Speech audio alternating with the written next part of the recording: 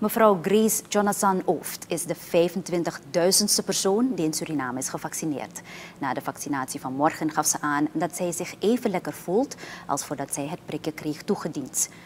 Rakesh Gayadar Sukul, directeur van Volksgezondheid, overhandigde mevrouw Jonathan Ooft een boeket als waardering voor het nemen van de prik. Sukul stelt het erg op prijs dat ouderen nog altijd het voorbeeld geven. Na COVID zomaar oploopt. Mhm. Wat heeft u aan andere personen, uh, wat wilt u zeggen aan andere personen die nog twijfelen om zich te laten vaccineren? Ik denk dat ze gewoon over de streep moeten gaan en gewoon gaan. Want ik was ook erg nerveus toen ik kwam. Ik weet niet waarom, maar ik was nerveus.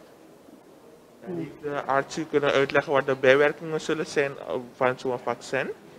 Nou, ik heb erover gelezen. Wetenschappelijk is aangetoond dat na, na een week tot twee dat, uh, dat er wat weerstand opgebouwd wordt door het lichaam. En dat, uh, dat het vaccin, het is al aangetoond wetenschappelijk dat er, uh, dat ervoor gezorgd wordt door het vaccineren dat de mensen minder ernstig ziek worden. En dat de sterfte omlaag gaat. En dat is heel erg belangrijk, want in Guyana zijn we al in een derde golf. In Frans-Guyana hebben we meer dan 6000 actieve casussen. In Brazilië gaan de mensen heel, uh, ja, dan, dan, daar is het heel erg, want uh, soms is er heel weinig hulp voor de mensen daar en uh, er gaan per dag ongeveer 3000 mensen dood daar. Dus we moeten blij zijn dat we het nu nog in controle kunnen houden. Daarom jammer dat de bevolking geen gehoor heeft gegeven aan ons oproep om Pagwa ingesloten en gesloten kring te vieren.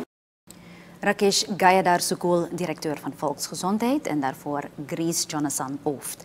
Zij heeft vanmiddag haar COVID-vaccinatie gehad en is daarmee de 25.000ste gevaccineerde in Suriname. Meer dan 36.000 personen hebben zich geregistreerd om gevaccineerd te worden.